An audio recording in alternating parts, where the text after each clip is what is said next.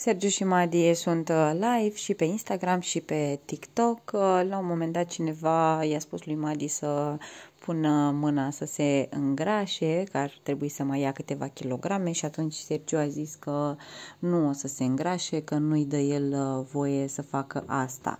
Și altcineva a întrebat uh, de ce nu îi dă voie să se îngrașe și el a zis pentru că nu vreau eu. Și apoi, uh, văzând că lumea ia în serios ce a spus, a răspuns Sergiu, cum să nu o las să se îngrașe, măi oameni buni. Poate a fost puțin deranjat uh, Sergiu de faptul că oamenii încă le spun uh, ce să facă, iar în cazul în care Madi va simți nevoia să mai pună câteva kilograme pe ea, o va face și fără să îi se sugereze acest lucru.